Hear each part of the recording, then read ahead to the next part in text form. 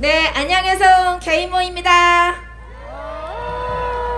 예, 오늘 제가 저번에 이어서 이제 두 번째 발언하는 날인데요. 아, 두 번째인데도 되게 떨리네요. 그런데 그때는 정말 화가 이만큼 나서 민주당에 지금 막 당정이라도 욕할 것처럼 막 그렇게 했었는데 그 사이에 정말 많은 것들이 변하고 어 이제는 뭔가 보이는 것 같아서 이제는 희망이란 단어를 정말 가슴에 품게 됐습니다.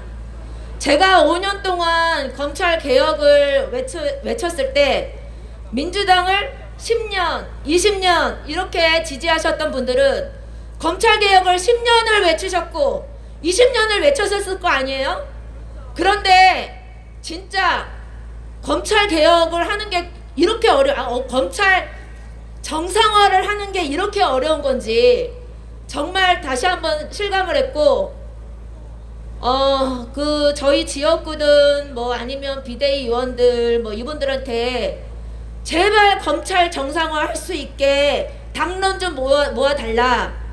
정말 40대인 제가 제 감정에 의해서 문자 보냈으면요. 야 신방아!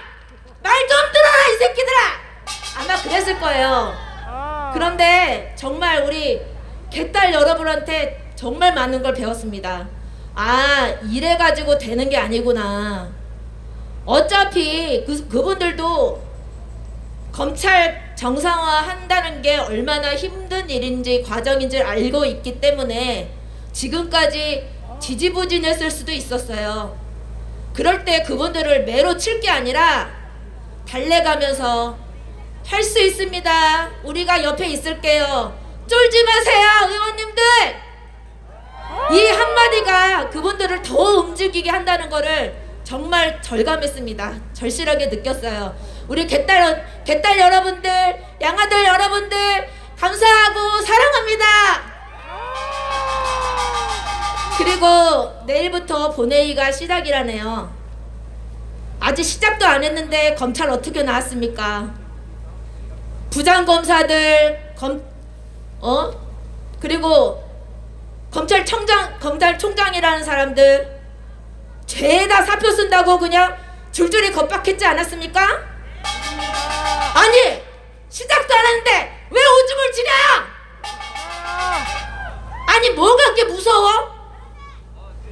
자기네들이 쥐고 있는 그 권력을 너무 단맛을 많이 봤나 봅니다. 네. 그걸 쥐고 흔들어야 되는데 이걸 못하니 얼마나 화가 날까요? 네, 이해합니다. 하지만 이제 그 무소불위의 권력도 내려놓을 때가 됐습니다. 이제 때가 됐으니 검찰 여러분들 아 사표 쓰고 싶으면 빨리 쓰세요 그냥 후배 검사들 줄줄이 기다리고 있습니다. 검사하고 싶 검사 부장 되고 싶어서 줄줄이 기다리고 있어요. 예? 똥쳐 빠지면 벤츠 나옵니다. 그러니 우리 민주당 의원님들 내일부터 언론 플레이 엄청 날 겁니다.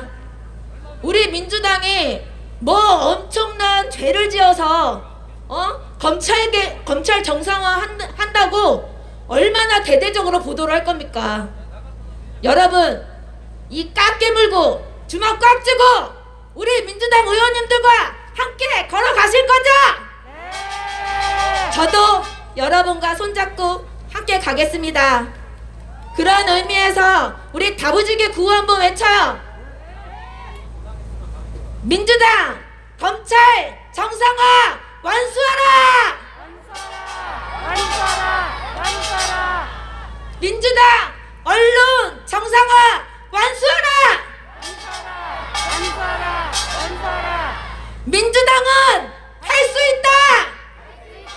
할 수 있다! 할 수 있다! 그리고 제가 민주당 하면 여러분이 쫄지 마 해주세요.